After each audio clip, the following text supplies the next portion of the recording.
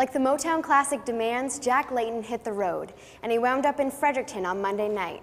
The federal NDP leader spoke to a sea of eager faces at the Wu Center Auditorium on the UNB campus.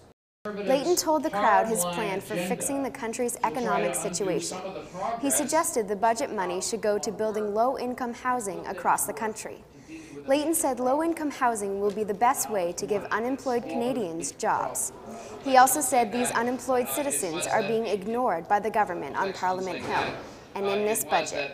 I think it's time that the people that are being left behind ended up with their voices being heard in Ottawa, and we ended up with policies that are looking after them and putting food on the table for their families. Layton also touched on his goals for a national child care program and addressed the issue of student loans in New Brunswick.